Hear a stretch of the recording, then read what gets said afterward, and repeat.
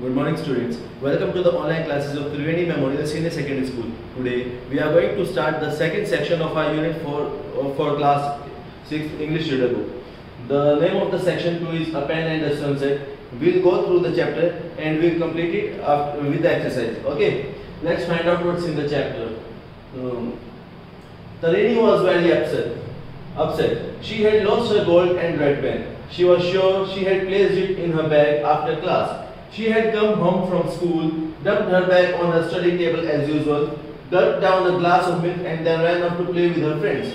In the first paragraph itself, we get we got to know there is a girl named Tarini. She was very upset as she lost her gold and red pen. Okay, she was very sure about uh, where she kept the pen. She she was you know she she had a habit of keeping it inside the bag, dumping it on her study table. Dumping it is like you when you come back from school. Uh, uh, and you keep your bag uh, on your study table, you just throw it uh, and uh, you run towards, uh, um, you can say towards your mother, to your, towards your father or to the playground or with your friends, okay. So it was her usual habit of dumping her bag on the study table, gulp down a glass of milk, gulp down here is used for drinking down, drinking, okay. She uh, down a glass of milk and then ran off to play with her friends, okay.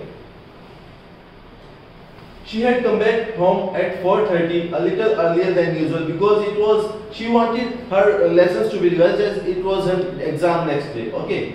So she had gone to her room, opened her bag and removed her science textbook and looked for her pen. But it was not there. So she was, mm, mm, mm, she was very uh, furious about that because she lost the pen, uh, lost the pen. Because it was just not it wasn't there. Everything else was there. The pencil box the scale other notebooks and textbook even three toffees toffees which she had forgotten that they were kept inside the bag. They were also there but not the golden and, and red pen. Okay it was missing. Worst part was it was a lucky pen gifted to her by her mother and father on her last birthday okay on her 10th birthday it had been such a lovely birthday okay she was very happy for that birthday and the birthday gift that was given to her by her parents. Now she had gone and lost her pen. She flew into her, mother, her, her mother's arms and cried because she was unhappy. She was very sad. I'm sure I'll do badly in my exam tomorrow. She sobbed. She now she said that she is not. Mm, she can't say that she, uh, her exam will be good. She uh, she's sure about that she'll do badly. Uh, she will not uh, get good marks in her exams tomorrow because she lost her favorite, her lucky pen. Okay, without my lucky pen, I won't be able to do well. She says that that pen, uh, that the golden and red pen was her luckiest one. Now, now, Tarini murmured Ma, stroking her daughter's hair. You shouldn't feel that way. Okay. Means rolling the hands on the hairs of her daughter. Her mother said, said, you should not feel that way. We all know how much that pen meant to you, but these things happen. You will just have to use one of your other pens tomorrow. When Papa comes home next week, we'll get you a nice new pen, just like the one you have lost. Okay, so don't uh, don't feel sad, um, and concentrate on your studies, and your exam will be good. You can use other pen. We'll get you the other pen next week once your father comes back. But Tarini was extremely upset. She jumped to her feet and raced to her room where she flung herself face down on her bed. She was very upset. She ran to her room and um, jumped on the bed and started crying. Ma sighed and looked at Grandpa who was sitting in his armchair doing a crossword puzzle. All this while Grandpa had sat quietly while Ma had tried to confront Tarini. Now Ma was um, Ma was also sad and she started looking towards Grandpa who was solving crossword and was very quiet sitting on his armchair. He did not speak a word while uh, uh, Tarini was talking to her mom. Let her be, be for a while. Ma said softly, she will get over it. I'll make something nice for her to eat. And she went into the kitchen. Okay. Ma says, let it be. And she she'll get over it. let me uh, let me cook something uh, that she likes. Okay. And she went into kitchen. For a while there was silence. Then Grandpa put aside his crossword rose and shuffled slowly across the kitchen. Here, after, after some silence, Grandpa uh, stood, uh, stood up from the chair and went towards the kitchen slowly to check out what's going on. And says, I'll, I think I'll go up the stairs for some fresh air. Send Tarini to me. Okay. Ask Tarini to come along with me. Grandpa says this to the mother of Tarini. That is, Grandpa's daughter was asked to send Tarini. Okay. Ma nodded and smiled gratefully at Grandpa. She knew how close Tarini and Grandpa were. Ma obliged and because she knew that Grandpa and Tarini were very close to each other. They were fond of each other. Okay. Ten minutes later, Grandpa and Tarini were standing on the terrace. The sun was just setting and the air was wonderfully fresh and cool. It had rained heavily that morning and a huge sheet of water covered an empty plot. Okay. Now ten minutes later, both Grandpa and Tarini were standing on the terrace. It was uh, very nice air uh, moving on. It was fresh and cool. As early in the morning, it was heavy rainfall, due to which water covered the vacant plot on the land below. Okay. Orange yellow sun turned redder at, as it sank towards the horizon. Horizon, we all know, students, what is horizon? The point where the point where sun meets the end. Okay we see that sun is setting down setting down setting down and we stop seeing that. Okay. So mm, the sheet of rainwater below was acting like a mirror reflecting the golden edged cloud and the glowing sun so uh, the sheet of the water, the water in the empty plot was acting like a mirror, and whatever, whatever was happening in the clouds uh, uh, upwards was same reflecting on the water downside. Okay. After a long while, Grandpa spoke. It's like a beautiful painting. Hmm? He said his eyes on the sheet of the. He said his eyes on the sheet of water. How lucky we are that it rained today. Then he felt silent. Now he said how beautiful it's looking that the reflection we can see in the water. How lucky we are that it rained today.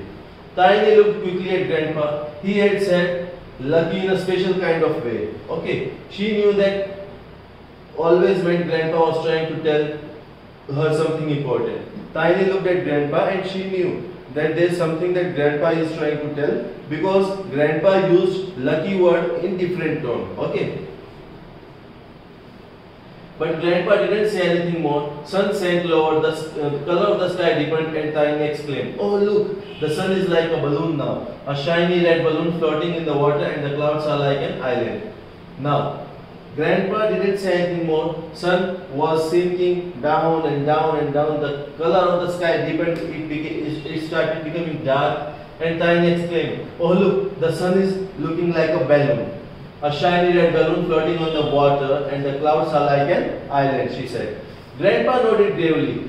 Okay, Grandpa agreed. I wonder, he said softly, would the sun's brilliance, the sunset's beauty, be any less if there was no rainwater down there to reflect it? Now Grandpa says, would this be the same, same as beautiful as today it is if there was no rainwater? His eyes were still on the water, his face calm. He was very calm. He was looking towards water and said, I am wondering whether the beauty would remain the same if water is not there. Tarini gazed at Grandpa, frowning slightly and abruptly she giggled. Now she uh, started uh, laughing slowly. The idea was funny. Of course not, she exclaimed, because sun is always there. It rises and sets every day, while the rainwater and her voice trailed away. She was slightly confused. Now she was confused because she she was going to answer it and she suddenly stopped as it uh, just like she thought it meant something. Grandpa nodded slowly and now he turned and looked at her. Now he agreed and turned towards Tarini and said, Yes, Tarini, he murmured, the sun is always there. The truth of the sun, its beauty and glory is not affected whether it reflect by whether it reflects off that sheet of rainwater or not. He says, Yes, Tarini, it's not the rainwater actually. The beauty of sun can't be defined if it is reflected by the rainwater or not because sun is always there. Okay.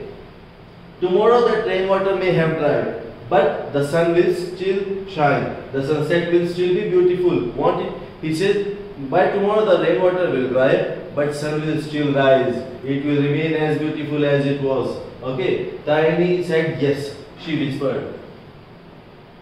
Whisper means uh, speaking very uh, slowly.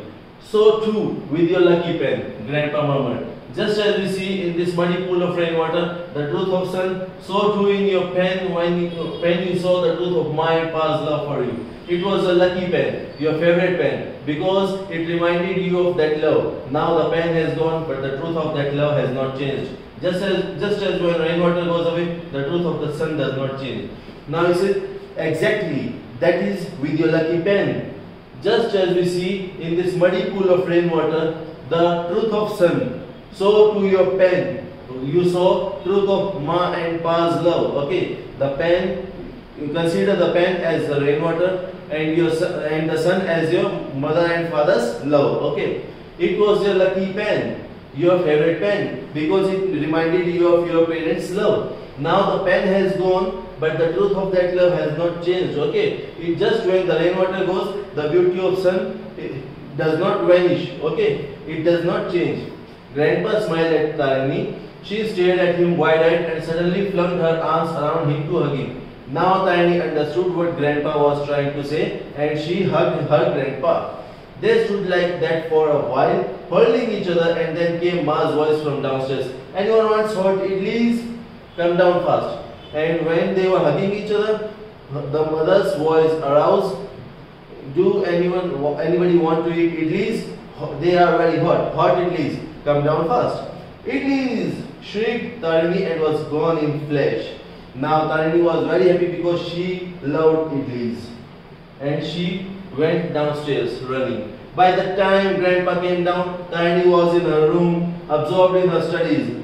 As Grandpa came down, Tarini started studying again. He saw that start, uh, was sitting on the study table and preparing for her exam. Grandpa slowly went across to his armchair and was soon immersed in his crossword. Grandpa again went to the armchair and started solving the crossword. After a while, Ma came up to him. Tiny is back to her usual self. What did you tell her?